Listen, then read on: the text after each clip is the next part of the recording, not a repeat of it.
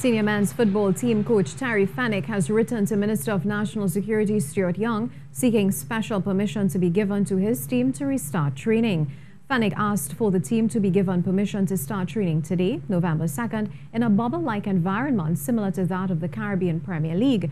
Fenwick would also like to have his team play a Trinidad versus Tobago match during the FIFA international window that runs from November 9th to 19, with a game played between the 17th to the 19th period.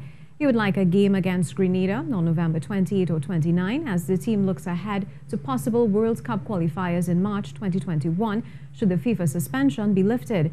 Fenwick says his team is behind the eight ball because of no domestic football being played in a year and of course the drama from the political turmoil that has plagued local football.